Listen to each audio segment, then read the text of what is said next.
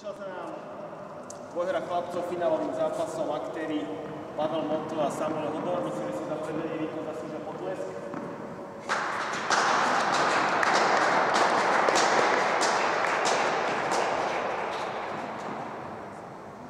A na druhom mieste porazený finalista skončil Samuel Hodor zo Slovenska.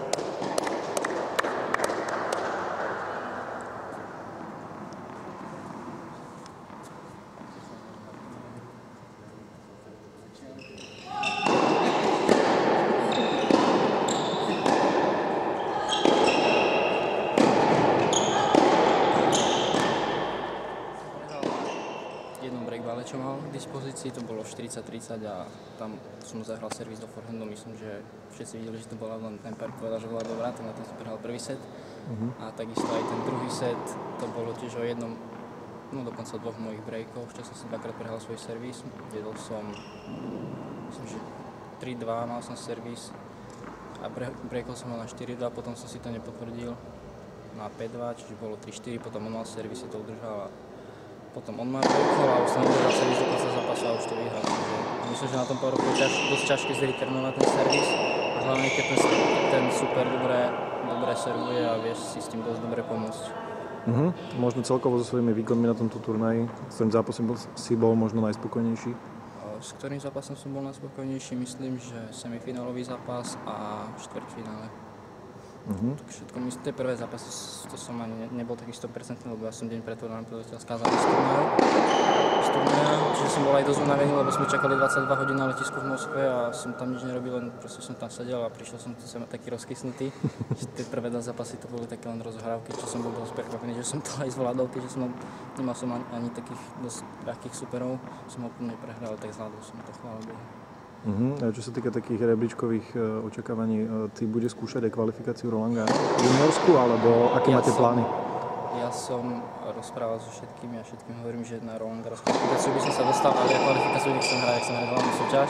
Mhm. Myslím, že to je rozumné, pretože kvalifikácia na Roland Garros je dosť ťažká a ak by som sa kvalifikoval, bolo by to super, ale priorita u mňa je, aby som hral tú hlavnú súťaž, Mhm. nie e, kvalifikáciu. Jasné. A ďalšie turnaje, aký máte Ďalší program? turnaj mám jednotku v Umagu, tu už je Antuka, to už sa bude hrať vonku, to je v Chorvátsku, to je budúci týždeň odchádzame s výjazdom, myslím, že v pondelok ráno.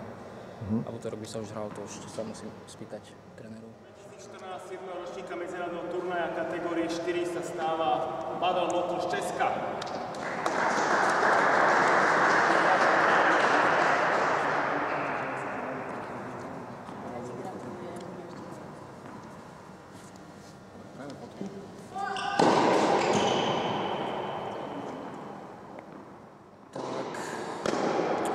Zápas byl ho- hodně o servisu, nebylo moc výměn.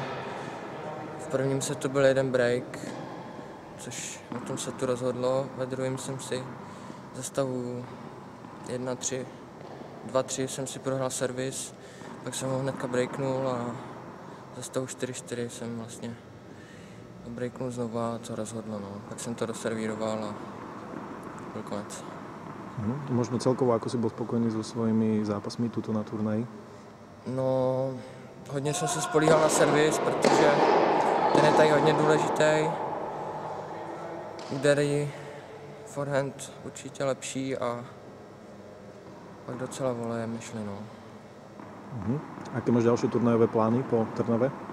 Další turnaj uh, poletím na Maltu, tam je čtyřka, pětka, ITFK a potom už Antuka venku. Mhm. Také ciele v sezóne najbližšie? Aké? Cíl, tak před touto sezónou jsem měl cíl do pětistého místa na ITF, což už se mi podařilo, takže budu se snažit to co nejvíc vylepšit ještě. Mhm. A možno ešte tu v Trnave, ako sa ti hráva? Si tu tu už V? Trnavě v hale jsem hrál poprvé tady a dřív už jsem tady byl asi třikrát na ITě. Takže znám to tady a mám, budu mít dobrý vzpomínky.